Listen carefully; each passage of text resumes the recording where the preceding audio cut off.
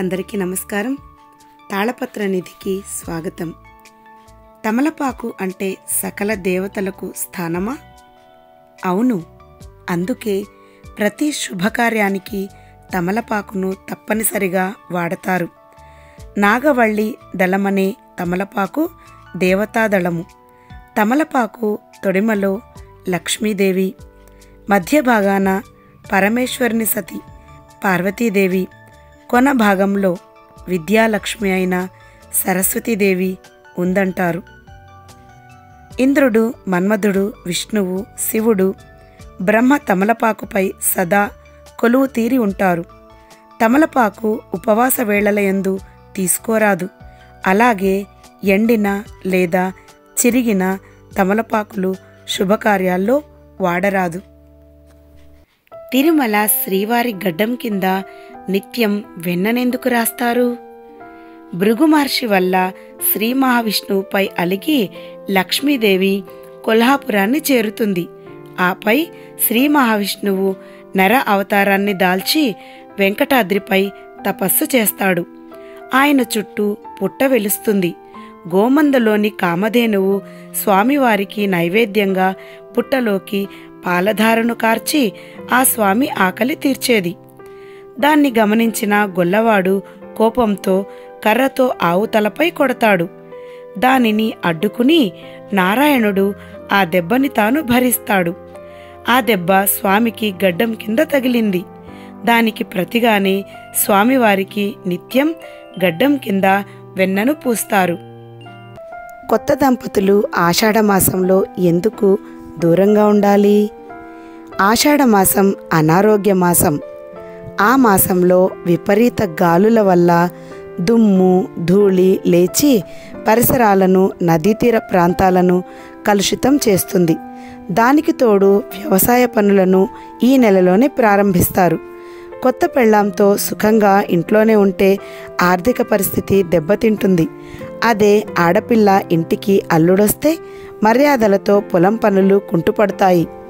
దానితో పాటు ఈ మాసంలో గర్భం ధరిస్తే ఆ బిడ్డ ఆరోగ్యంగా పుట్టడు. ఆషాఢ మాసంలో గర్భం ధరిస్తే నెలలు నిండే సమయానికి ఎండలు ముదురుతాయి. దానితో తల్లి కడుపులో బిడ్డ అవస్థలు పడతారని ఆషాఢమాసం ఇద్దరిని దూరంగా ఉంచుతారు.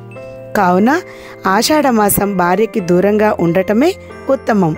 అత్తా కోడళ్ళు ఓ గడప దాటకూడదని అంటారు.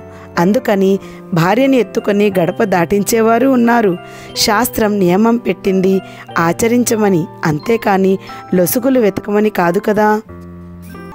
తిరుమల శ్రీ వెంకటేశ్వర స్వామిని దర్శించాలంటే ఏడు ద్వారములు దాటాలి.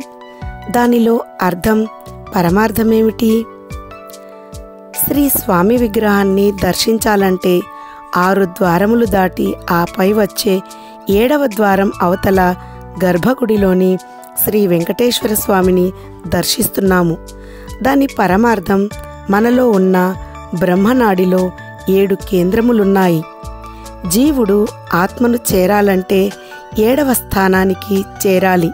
అందుకే స్వామి నేను ఏడవ గదిలో ఉన్నాను. నన్ను చేరాలంటే మీలో ఉన్న ఏడు ద్వారములు దాటండి. అప్పుడు నా రూపాన్ని ఆంతర్యాన్ని చూడగలరు అనేది స్వామి దర్శనంలో పరమార్థం. అందరికీ నమస్కారం. గుడిలో షటగోప్యం అంటే షటగోపనం అంటారు కదా తల మీద పెట్టడం ద్వారా ఏం ఫలితం వస్తుంది అనే దాని గురించి తెలుసుకుందాం. దేవాలయంలో దర్శనం అయ్యాక తీర్థం షటగోప్యం తప్పక తీసుకోవాలి. చాలామంది దేవుణ్ణి దర్శనం చేసుకున్నాక వచ్చిన పని అయిపోయిందని చకచకా వెళ్ళి ఏదో ఏకాంత నిర్మల ప్రదేశం చూసుకొని కూర్చుంటారు. కొద్దిమంది మాత్రమే ఆగి శటగోప్యం పెట్టించుకుంటారు. శటగోప్యం అంటే అత్యంత రహస్యం. అది పెట్టే పూజారికి కూడా వినిపించనంతగా కోరికను తలుచుకోవాలి. అంటే మీ కోరికే శటగోప్యము మానవునికి శత్రువులైన కామము క్రోధము లోభము మోహము మదము మాశ్చర్యముల వంటి వాటిని ఇక నుండి దూరంగా ఉంటామని తలుస్తూ తల వంచి తీసుకోవడం మరో అర్థం. సహజంగా చిల్లర లేకపోవడం వల్ల శటగోప్యమును ఒక్కోసారి వదిలేస్తూ ఉంటాము పక్కగా వచ్చేస్తాము కానీ అలా చేయకూడదు. పూజారి చేత శటగోప్యము పెట్టించుకోండి. మనసులోని కోరికను స్మరించుకోండి. శటగోప్యమును రాగి కంచు వెండిలతో తయారు చేస్తారు. పైన విష్ణుపాదాలు ఉంటాయి. శటగోప్యమును తల మీద ఉంచినప్పుడు శరీరంలో ఉన్న విద్యుత్ దాని సహజత్వం ప్రకారం శరీరానికి లోహం తగిలినప్పుడు విద్యుదావేశం జరిగి మనలోని అధిక విద్యుత్ బయటికెళుతుంది. తద్వారా శరీరంలో ఆందోళన ఆవేశము తగ్గుతాయి. శటగోప్యమును శటగోపనం అని కూడా అంటారు. గుడిలో ఎందుకు ప్రదక్షిణలు చేస్తారు? ప్రదక్షిణంలో ప్ర అనే అక్షరము పాపాలకి నాశనము. ద అనగా కోరికలు తీర్చమని. క్షి అన్న అక్షరము మరుజన్మలో మంచి జన్మ ఇవ్వమని. నా అనగా అజ్ఞానము పారద్రోలి ఆత్మజ్ఞానము ఇవ్వమని. గుడిలో భగవంతుడి చుట్టూ తిరిగే ప్రదక్షిణంలో ఇంత అర్థం ఉంది. పూర్వం ఆదిలో వినాయకుడు పార్వతీ పరమేశ్వరుల చుట్టూ తిరిగి విశ్వానికి ప్రదక్షిణ చేసిన ఫలం పొందాడు.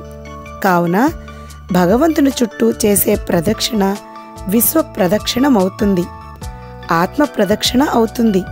భగవంతుడా నేను అన్ని వైపుల నుంచి నిన్నే అనుసరిస్తూ ధ్యానిస్తున్నానని అర్థం.